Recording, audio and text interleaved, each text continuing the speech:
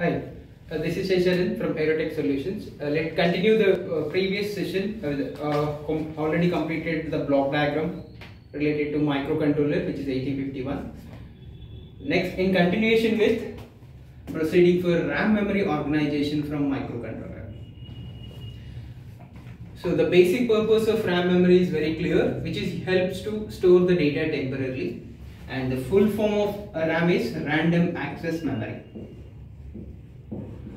So this device from any microcontroller, the RAM memory helps you to store the data temporarily. And this RAM memory having different sections internally. Uh, the total memory from 8051 which is 128 bytes. So you need to understand how these 128 byte you can use for different purpose. So these 128 means you should understand the starting address of RAM memory and ending address of RAM memory. So in decimal 0 to 127 are the memory addresses of RAM. And this addresses if you want to write in hexadecimal format so 00H to 7FH. So which is 0 0 which is 0 equivalent is H which is same and 127 hexadecimal equivalent is 7FH. So this is simple start address and end address of RAM memory. So this RAM memory is divided into three sections. The first section of RAM memory is banks. And second section is bit addressable space. And third section of RAM memory is scratch pad memory. And each section has its own number of locations. Banks are taking 32 locations from RAM.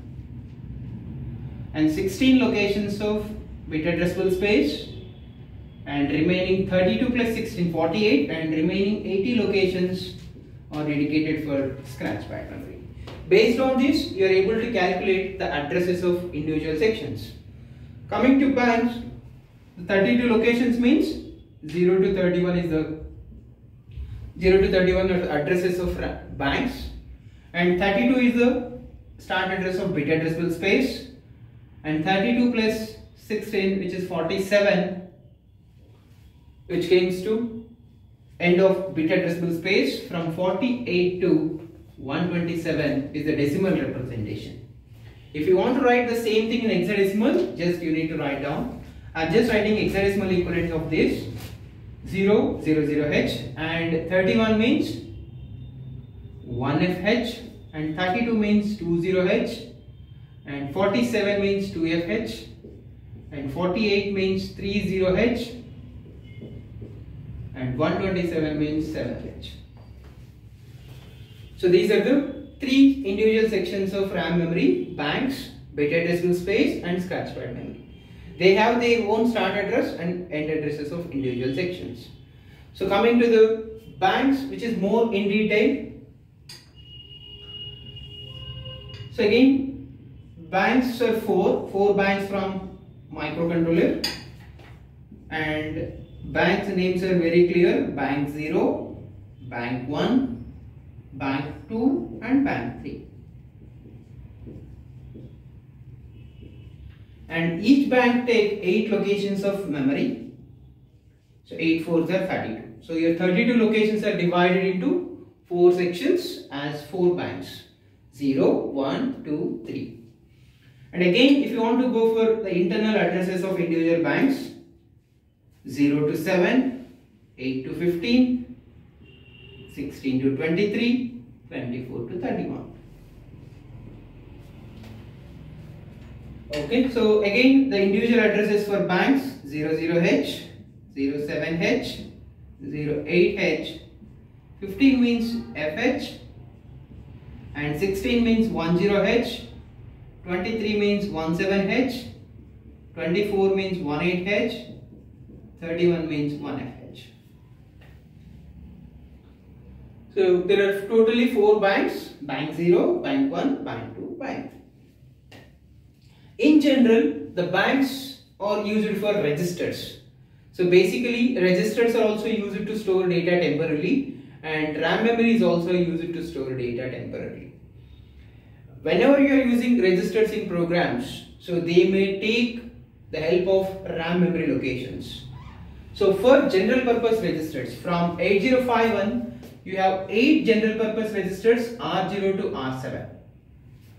So these general purpose registers they are going to use the banks from RAM memory. If you are writing a simple instruction which is move R0 comma some value. So you need to understand this register R0 which is using one temporary memory location from RAM either the start address of bank 0 uh, or start address of bank 1 or start address of bank 2 or start address of bank 3. But the registers can take only one memory location from banks. They are not going to use all the locations from all banks so the registers, there are 8 registers here R0 to R7 and each bank provide 8 locations. The sequence locations of these banks they are going to use by the registers next R1, 01, R2, 02, next address of your bank. Okay, but finally, who, which address used by these registers that will be decided by RZ, RS0 and RS1 bits from PSW register. So these two bits are named as register selection bits based on the combination of these two bits logics. Suppose you are assigning 0, 0 for these two bits. So registers R0 to R7 uses bank 0 locations. If you are assigning 0, 1 for these two bits, they are going to use bank 1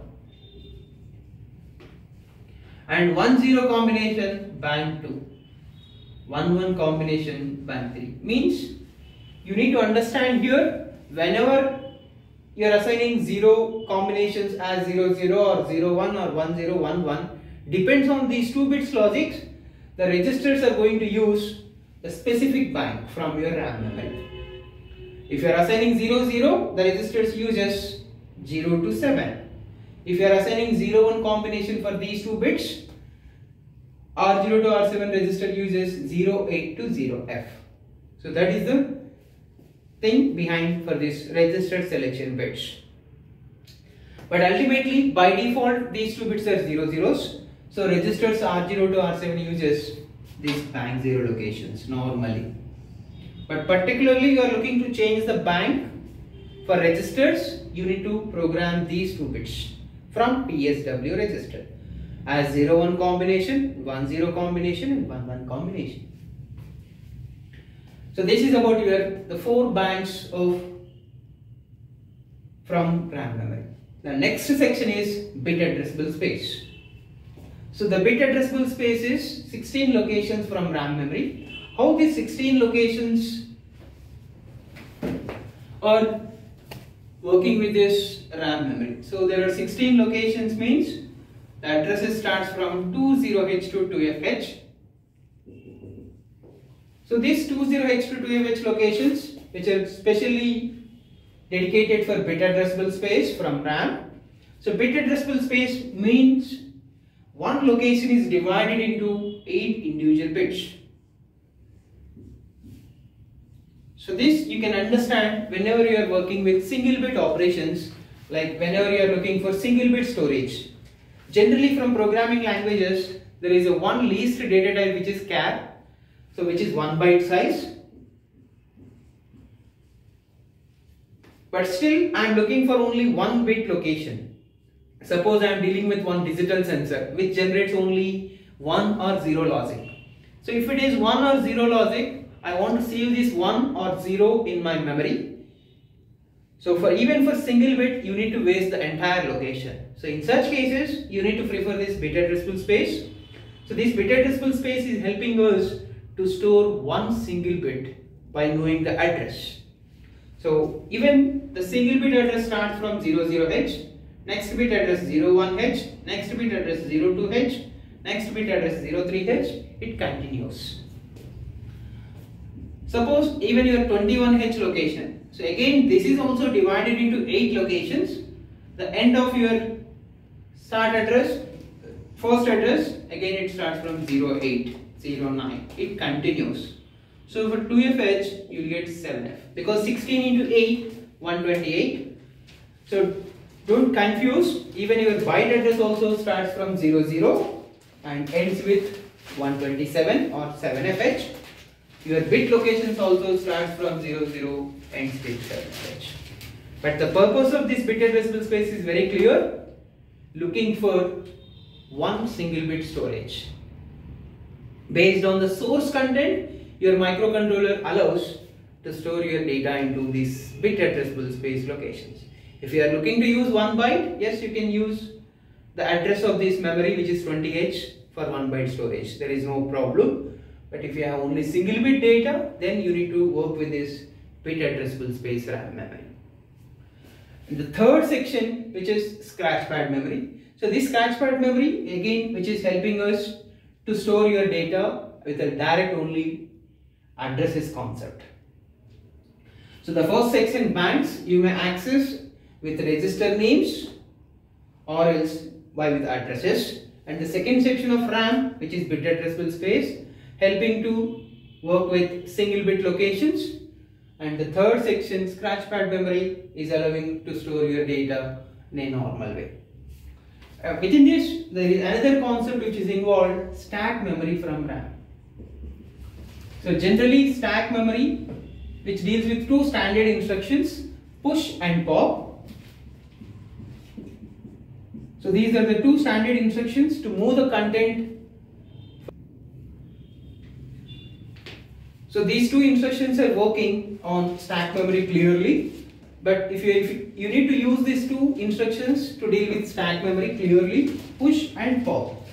Push instruction helping us to move the content from any address to stack and pop instruction is used to get the content from stack to destination location. So I am simply writing the instruction push 40h which means you are trying to move the data into 40h location from 40h location to stack. So who is stack and where your data is going to move 08h location. How it how it will happen?